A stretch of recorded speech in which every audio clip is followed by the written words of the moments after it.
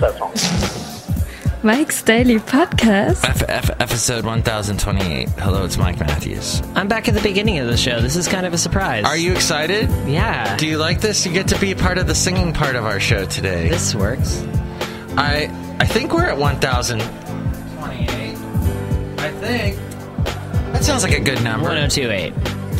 Welcome to 1028 Brisbane. Mike's Daily Podcast. I'd like to go to Brisbane someday, wouldn't you? It's pronounced Brisbane, and I've been there.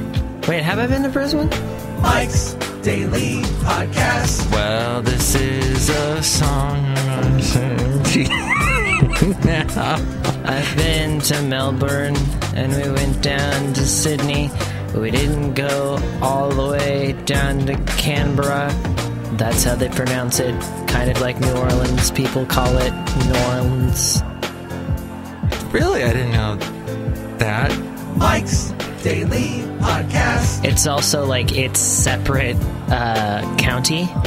The The city itself is like its separate state. Mike's in Daily Australia.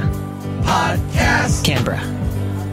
Yeah. The little tiny area around Canberra is like I don't remember what it's called, but it's like they're basically it's similar to how Washington D.C. is itself as a district separate from everything else, so Yeah. its own laws and stuff.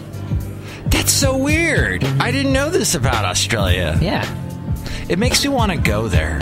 Like I said, I've been there. So And what did you think of that really, really long flight? I got to see the movie Robots. What's it, what's that one about? Is that about um, Robots. about- It's it's that DreamWorks one. robots? Oh, I feel like I remember that. Yeah. Oh God. It was just a lot. It was just like these two robots going on like robot roller coasters for like two hours. really? That's what most of the movie was. It was better than Food Fight, though. Uh, it was better than Food Fight. It was a really cool looking movie. You know, Oh, the actual characters were kind of annoying, and the story I don't remember in the slightest. But it was cool looking, okay. especially for fourteen year old me. I think 14, 12, something like that. And you had a long flight, so it distracted you. All Well, it distracted me for two hours. It was a fourteen hour flight. good heavens. I think I watched it twice. Did you have a layover in like uh, Hong Kong? Or look at just walk in. Hello, Bethany. Chely Hart. Wait a minute, Chely. I feel like Madame Rudabig is supposed to be here. I don't know. Everybody, everybody's here. Everybody's here. Everybody's here. They're in the rafters. Hello, Michael Master. It's Madame Rudabig. Hello, Haley. I am dating a younger man. Aren't we all? That's true. I never really thought about that. Wait. Oh, and else is. Well, no, they're not here in here yet. So the door has to open before they walk in. I see. These are scripted sequences now. Sure. Okay. Um, I didn't have any layovers. We went. Str- we flew straight to uh, New Zealand, uh, Auckland, the Auckland airport. Oh, that must be nice. It was all right. I paid for something with uh, Australian money, and they gave me a New Zealand coin Look who else just walked in. back. Oh, Mike, this is Floyd the Floorman. And this is John Deere, the engineer. I'm so sad because I want Hillary to win, and she's lost big time in New Hampshire. And Bernie Sanders won! Yay! That's good. I haven't actually seen the results. Bernie did really well. That makes sense. It's uh, his kind of state. Yeah. Would you live in New Hampshire? It's New Hampshire so scary. Would you live in New Hampshire? Don't worry, that's the last sound effect to pop out of nowhere. Oh, um, yeah, yeah, I guess I would live in New Hampshire. I should load up a bunch of other sound effects like a and we'd have to do something with that too. Just an improv exercise of randomly appearing sound effects. So you paid for something in Auckland, got back New Zealand money. Mm-hmm. What did you do with that New Zealand money? I think it's in a box somewhere. Or maybe I gave it to someone who collects foreign coins. Oh, that's nice of you. Yeah. Is that person rich now because they've got all this foreign money? I don't even remember who it is. I feel bad because they're not remembered. I don't. We are Screw doing it. a damn good podcast right now, despite the fact we've had zero hours sleep. I had, what, seven hours of sleep? Which should be an adequate amount, but I was so tired this morning. I had uh, almost the same amount, and I am so tired. You just can't get up at four in the morning and not be tired. It's true. and then I have all this stuff with my fridge that's bumming me out. It it's freezing everything, but my roommate has the lower part of the fridge, mm-hmm. and his stuff is fine. So I don't know what's going It's on. just the upper part. That's Yeah. opposite of what I feel it should be. Isn't it? Like Yeah. heat rises. Yeah, but I guess like the the refrigerator units are near the top. I suppose. Oh. I don't know if that's true.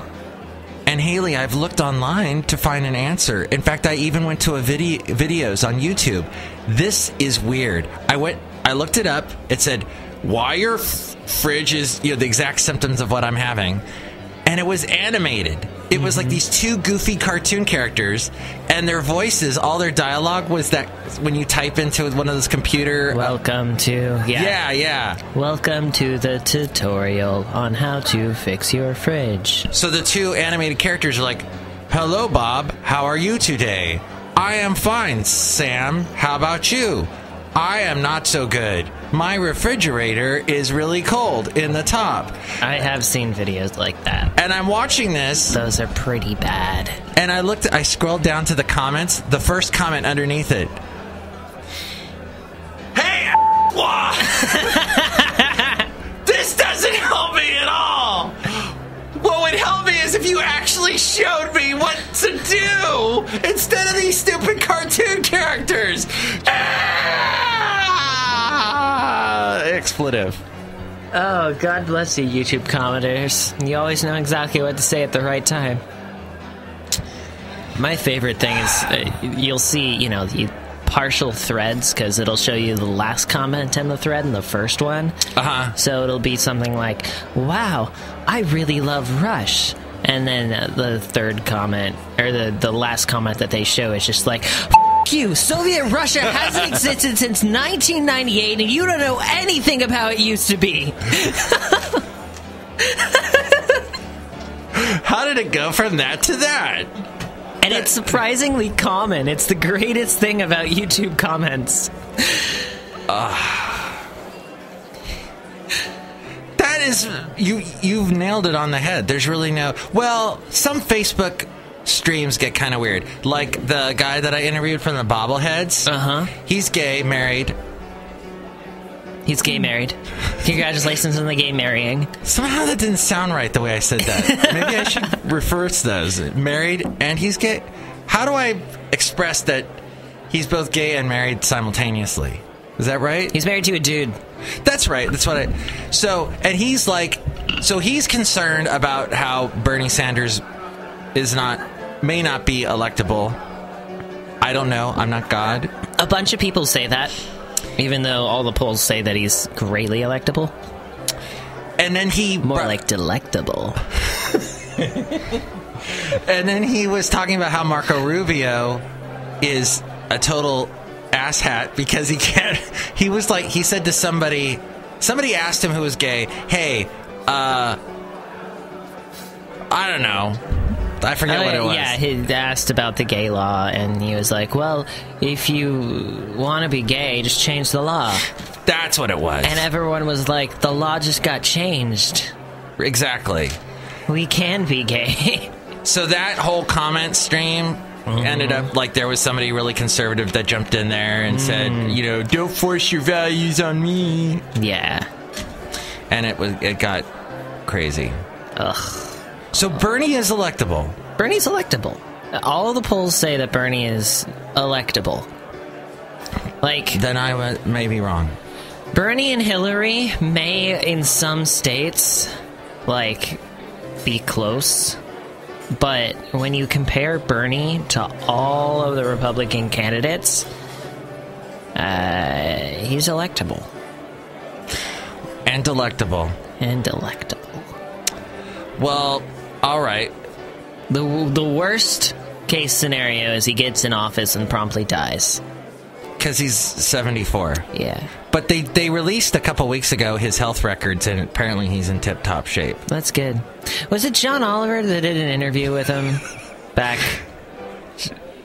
back at the like the beginning of the election, and he suggested that they could just do a weekend at Bernie's situation? Oh my god! Did you see that? No. Oh, it was hilarious. Like he he had he had um, Bernie Sanders just like hunch over, and then he put a pair of sunglasses on him. and was like, look, it's perfect. It works fine.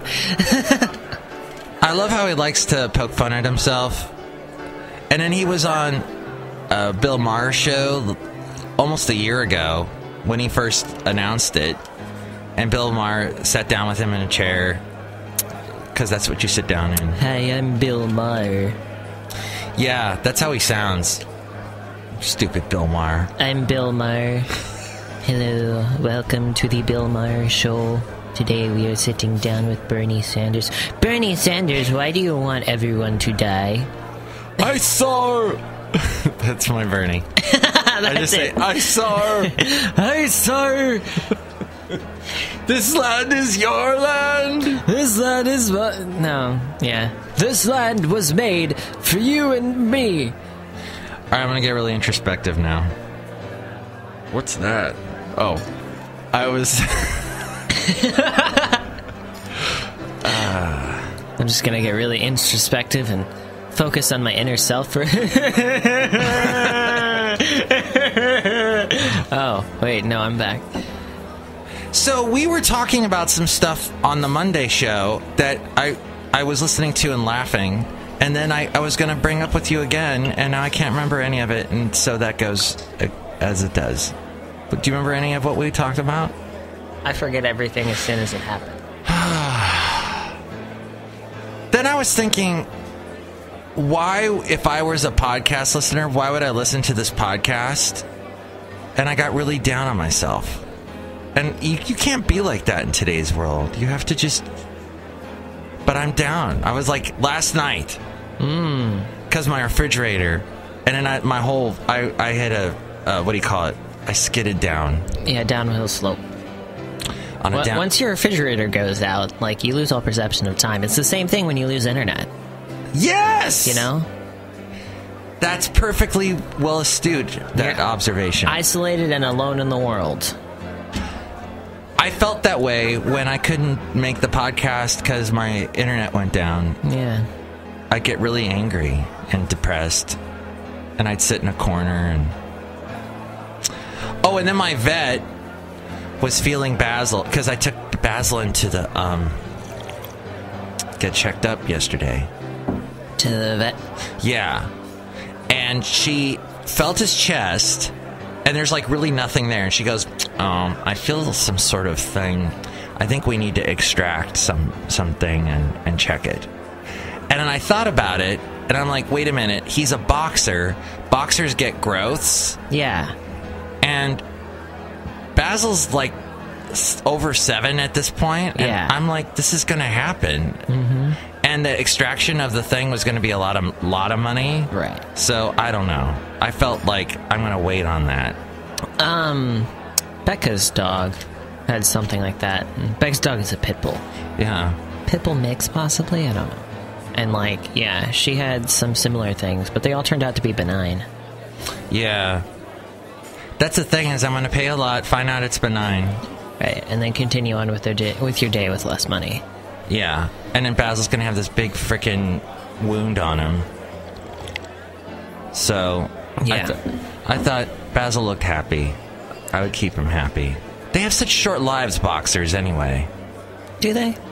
I I heard that they don't last. Some last to maybe 14. Oh. So this the music got sad here, didn't it? It's sad. It's the same music. Oh, it is. But It's got a sadder, a sadder undertone. It's multifunctional music. oh, but um, let me show you the picture of Basil with a cat. Is this going to be the podcast picture? I think maybe it should because I'm going out of my way to open my very very slow iPhone. Dun, dun, dun, dun, dun, dun. See, now it's elevator music. It's waiting elevator music. Oh, that's what it is. I'm trying to remember what song this is from. This is where I can find my picture. Uh, now, here it is. What do I do when I get when it looks like that? What? It like organized everything into years and oh albums. oh, here we go. wow, look at this collage of your life shown in three by four pixel squares. All right, here's the picture. There's Basil seeing he's looking at the cat sitting in the chair. Do you see it, or is it a bad picture? That cat could not give a crap. He was looking at Basil like, yeah, come on, bring it on. All right, maybe that won't be a good podcast picture. Pretty picture. It's a pretty cat. I want to pet that cat. Really? Yes. I could probably like crop it and it would be a better picture. No, it's fine. Because that's kind of funny, because you see Basil's head. Yeah, that's better. All right. All right. That'll be the podcast. I want to thank you for being the creative consultant on today's podcast picture. Of course. Of course, of course, of course. All right. It's uh, almost it's 5:50 on that clock above your head, so maybe I should jump to um, the news segment we were going to do called "This Is Interesting," and uh, I have one story about a rabbit and one story about parking. Which one should I start with first? The rabbit. Okay. Oh wait, I gotta hit postpone on this, otherwise it's turn off. Here we go. This is interesting. Wow, this is interesting. And if you go chasing rabbits and Uh, oh, and I played White Rabbit by Jefferson Airplane in honor of that. Oh, is this the giant bunny? Yeah, it needs a home. Uh, my favorite headline on that was "Somebody adopt this fing huge rabbit." Where did you see that one? I saw it on Facebook. Giant Scottish rabbit seeks home. Animal ware- welfare officials in Scotland are seeking a new home for a giant rabbit. The larger than life bunny, appropriately named Atlas, is a seven month old continental giant rabbit. Seven months is pretty pretty long for a rabbit. Wow, I want that big freaking rabbit. It's huge. It's a large rabbit. Um, and Can you imagine feeding that rabbit? It'd be like, here, rabbit, have an entire head of lettuce. it would totally eat that much lettuce. You can contact the Scottish Society for Prevention of Cruelty to Animals. I think it already got adopted, though. Oh, really? Yeah. Oh, good. That's what I thought, anyway. Maybe I'm wrong. I mean, look at this picture with the girl, the blonde, and and the rabbit is, Blending in with her hair, first off. and look, the ears are like from her from the bottom of the rabbit's head to the top of the ears. It far as high, almost as high as. The, No, yeah, it's it's bigger than from her the bottom of her neck to the top of her head. Like it's a large rabbit, guys. and it's uh, a 1.2 meters long, which that converts to seven miles, Yeah. right? So it's a seven mile rabbit. that's a big rabbit. That's a big rabbit. they paved paradise, put up a parking lot. All right, now parking tips, These are tips so you can park good. because you're gonna um, drive someday. I have faith in you. don't listen. yeah, don't listen to your dreams that are telling you you're going to be a bad Then I'm driver. just gonna crash into You- things. you're going to be a great driver, Haley. Thanks, I think. All right, uh, here are the most common parking lot accidents. Two drivers back up into each other. That is so true. Oh my gosh, that's the one thing. Just remember that, Haley, when you are driving and you're backing up, there's always going to be someone trying to back up into you. um, pulling forward out of a space into the lane of traffic. Oh, well, you're just an idiot if you get into an accident there. Look both ways, right? It's like riding a bike. A driver backs out of his space into an oncoming car. Oh, that was the same thing. Two cars vying for the same space collide. Okay, that's just two road rage people that are like, no, you can't have that space. I'm gonna smash into you, so you can't. Right. A car rear ends another at a stop sign. Yeah. Thank you, Costco, for that great article. That was amazing and interesting. Did I just throw that into my coffee? No, I think you throw it in the trash conveniently. Did I? Yeah. That never happens. As we go outside a cafe anyway, we're ringing Mike's Daily Podcast somewhere in Podcaster Valley. All right, now I'll turn that off because we're actually hearing crowd effects at this point.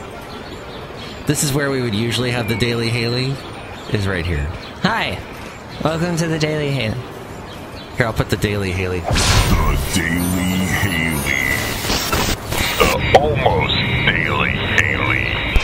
Okay. The Daily Haley. That, what was that? Were you doing um, some kind of. That was my Arabian? uh, that was my impersonation of the, announcer guy in there. Oh, okay. goes, "Brr, brr, brr, brr." If you have any suggestions for this show, like eat and die, I don't know. Whatever you have, please let us know. Mike's Daily Podcast. We've gotten so many suggestions recently, like, "Hey, stop do this podcast," but um, we decided that we're not going to do that one. It's our number one. it's our number one suggestion. Mike's Daily Podcast at gmail.com, which none of you use, so forget that. Oh, I did. Somebody did use it. They were trying to sell me some service, like, if you use our service, we will get you sponsors. And I was like, frick, I don't care about you. I'm a Zimbabwean prince, and I'm stuck in space. Please send me twenty thousand dollars so I can get out of space. $13, uh, we made $13 off of Amazon, so we'll go have lunch. Yeah, we should do that. When? Hmm. Maybe we should do a weekend thing. Maybe. Yeah, because I get off of work at, at like 6 o'clock on the weekend.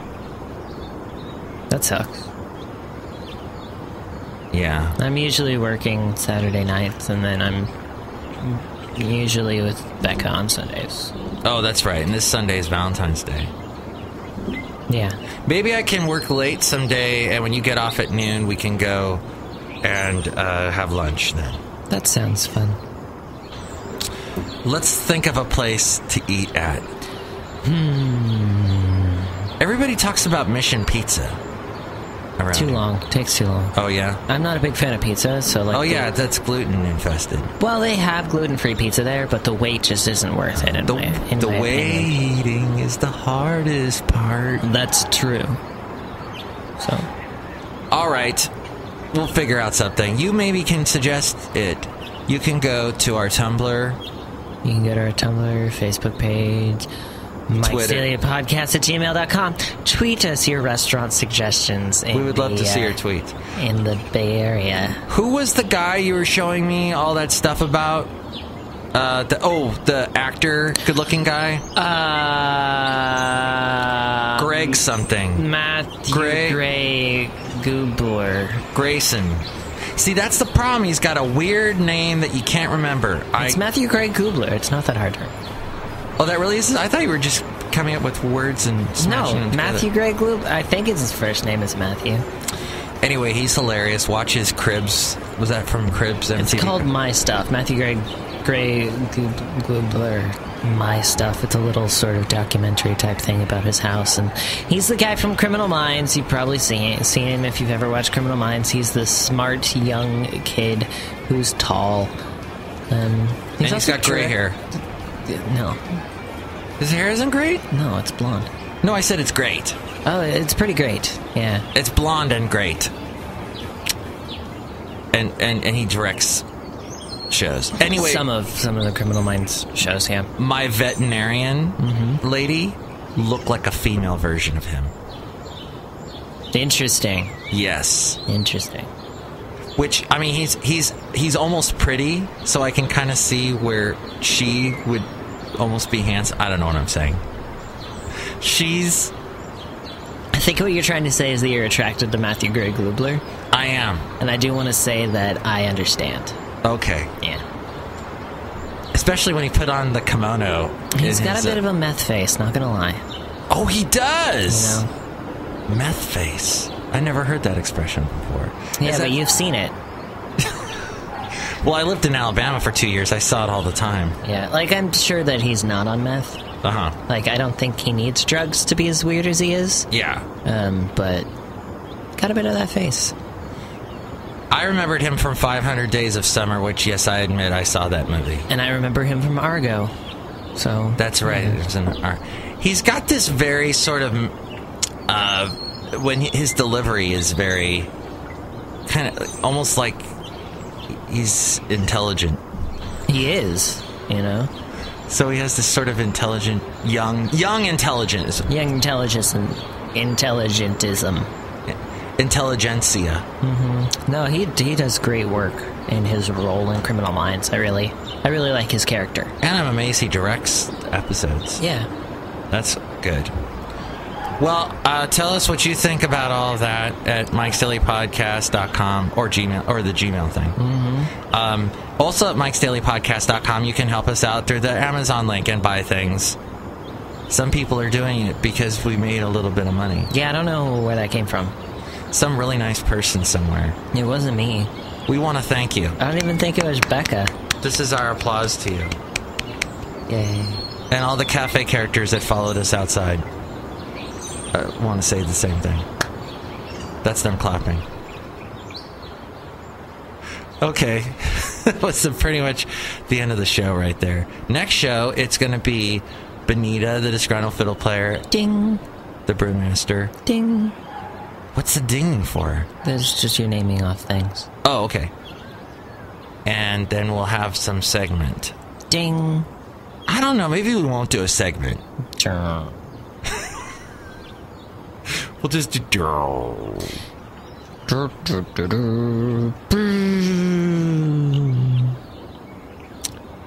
I'm thinking of starting a new segment called the uh, Music Unseen. Like, because you know how we talk about stuff that just sort of bubbling under the surface, or people don't know about, or obscure musical stuff. Mm-hmm. We could make a segment out of that. Oh, so you know how you were showing me that radio station that had all the indie stuff? Soma.fm. Yeah, and you showed me that the Bagel Radio. You said played some really cool stuff, and I saw some stuff I recognized, and I was like, you know, it looks like a good station, but it'd be so much better if they started playing stuff like Courtney Barnett, Wolf Alice, some other stuff. Yeah, yeah. So I, I look on there a little bit later. They played Wolf Alice. Whoa! And then they played another band called Snowmine, which I'm also a fan of, and they've been underground for years. really? Yeah, they're they're more along the shoegaze uh, style, more of an indie indie rocker shoegaze with some shoegaze. Well, last night I was showering at about um, seven fifty because I wanted to get to bed by eight, so I would have at least eight hours sleep. And then you, the the curtains were drawn back, and he went ah, and you spilled chocolate syrup down the drain. Yeah, because Psycho happened. Yeah. Did he use really chocolate syrup? Chocolate syrup because it's black and white. You couldn't tell. I heard too that the there's a scene with a glass of milk, mm-hmm. and he put a light bulb in the milk Really? that was on. That makes no Um, sense though. How would they have that technology to, in the '60s or '50s? The walls of the Addams family were pink. The Addams Well- family house. Because he gave it the right shade of gray in the black and white. Wow. Yeah. See, yeah, they had to think in that format. They had to think in black and white. And that might be why all, the houses, when the color TV came around, all the houses were weird, garish colors. Whoa! Because, like, they were transferred over from black and white or something. I don't know for certain. Just saying. So I don't have the Addams Family theme in my head, but I have the da da da da da da da da da da da da da da the Munsters. Boom, ba-dum, boom, ba-dum. See, I never watched The Munsters. That seemed to be on all the time when I was a kid. Uh, reruns instead of Addams Family. I wanted to watch Addams Family, but instead, stupid Munsters was on. Yeah. It's kind of like when you want to watch some some good old program, like maybe uh, my fa- or my mom's favorite are Bewitched or uh, I Dream a Jeannie, Uh-huh. like those kind of, and then you turn it on and it's the Honeymooners, Ah, and you're like, ah, go away, we get it. You hate your wife. we get it to the moon, Alice. to the moon. If you hate her so much, why'd you marry her? That show lasted forever. Yeah. But the interesting thing about that show is it's done completely live, and whatever mistakes they had to cover up, Yeah. Interesting. like us. Like us. We don't make mistakes. We are mistakes. This whole show is a mistake. Anyway. But cafe anyway. Uh, I. What was I gonna say about the? You were back. Wait, how did we get started on all that? Um, We were Psycho. Shower. You were shower. in the shower. Oh, thank you. oh God.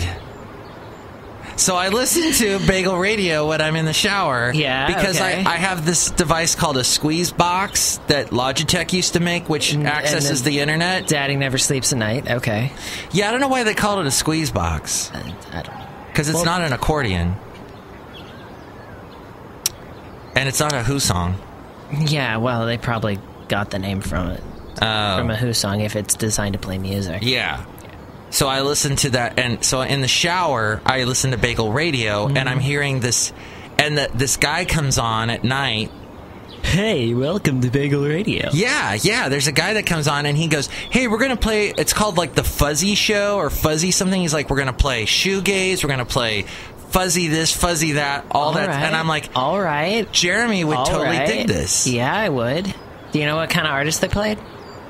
No, but we can look it up. Uh, I'm sure there's a link to his show Mm-hmm. somewhere, Great show. and we'll put those links in the show notes. We don't have show notes. we won't do that. We have a blog, but I, I'm not going to write anything. I'm just going to tell you what happened today and what's going to happen tomorrow because I'm just not into it anymore. but I paid for the website. It's gonna. I think the. Stay strong, Mike.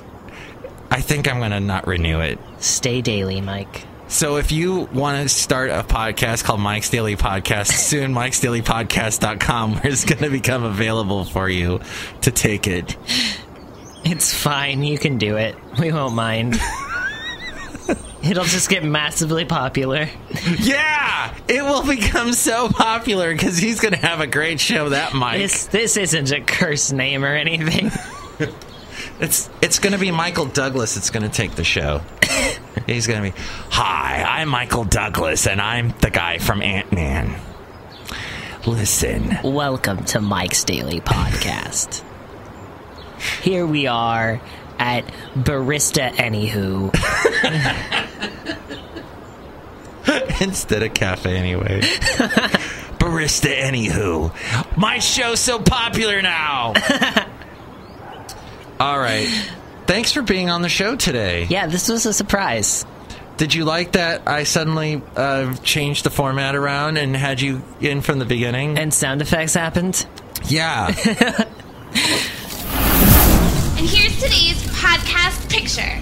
Oh, the podcast picture today is of the thing we were talking about earlier. Weren't you listening? It's a cat and also a dog.